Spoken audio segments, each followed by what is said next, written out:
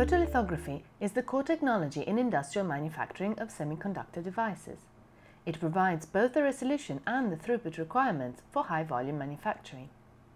In addition, it gives high overlay accuracy, low defectivity, scalability, and makes it possible to realize complex structures at a low production cost.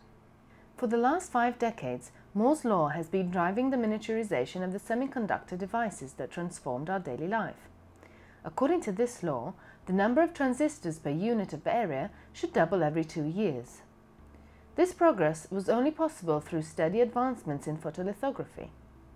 One way to increase the optical resolution is to reduce the wavelength, and slowly but surely, the wavelength used in photolithography systems has become shorter and shorter.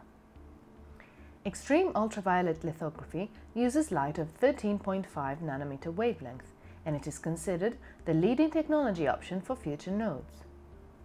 EUV projection lithography is based on reflective optics and plasma sources. Despite the significant delays due to technological challenges, this technology is now mature for high-volume manufacturing. Interference lithography is a simple and low-cost method of creating aerial images without the limitations of projection optics. This technique exploits the interference of two or more coherent EUV beams to generate a periodic aerial image on the wafer plane. The EUV-IL tool installed at the Swiss Light Source at the Paul Scherrer Institute in Switzerland uses an undulator source to eliminate the transmission grating masks with a homogeneous and coherent beam. The gratings are manufactured on silicon nitride membranes using electron beam lithography. The diffracted beams interfere on the wafer plane, creating a sinusoidal aerial image. In most of the cases, the mask consists of several grating pairs that can generate nanostructures of different half pitch in a single exposure. EUV interference lithography combines the simplicity of interference and the resolution advantage of EUV light. The resolution advantage of EUV is due to its short wavelength and to the fact that the interaction of EUV light and resist leads to very limited blur. If we use the first order diffraction beams, the period of the interference pattern is given by the formula shown here and corresponds to half of the period of the gratings. The diffracted beams from different gratings with equal period interfere and create a well-defined sinusoidal aerial image. This technique has infinite depth of focus, which means that the aerial image is insensitive to distance variation between the mask and the wafer, which is a critical issue for projection lithography.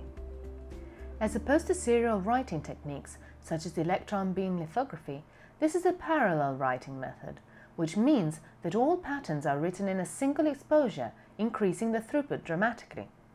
A pattern as large as 25 square millimeters can be written in a single exposure, making it possible to cover large areas by step and repeat. The resolution of a lithography tool is measured as the achievable density of the printable structures, which corresponds to the half pitch of a periodic structure. This method, currently, can achieve down to 6 nanometer half pitch, marking the world record in photolithography. Here, you can see dot arrays and grating structures down to 7 nanometer half pitch. These are the smallest patterns ever written with photons. The resolution is limited by the mask writing.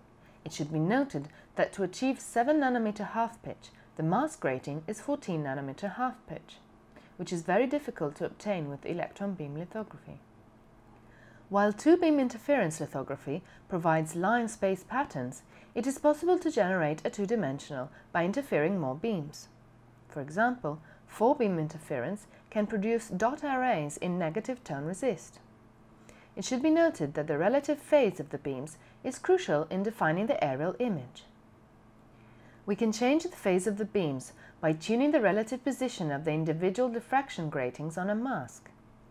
In the example below, the phase is changed so that the resulting aerial image has different tone and different period. If six beams are interfering, the resulting aerial image can be a hexagonal dot array or a honeycomb structure or a so-called Kagome pattern, depending on the phase of the beams. In interference lithography, the number of interfering beams define the symmetry of the periodic structure. In the case of five-beam interference, a five-fold symmetry is enforced and it prevents the generation of a periodic pattern. There is no periodic structure or crystal with five-fold symmetry. If the system is forced to this symmetry, it produced so-called quasicrystals or Penrose tilings. In this case, there is a short-range order, but in the long range, the structure does not repeat itself. This behavior is also shown for the case of eight beams.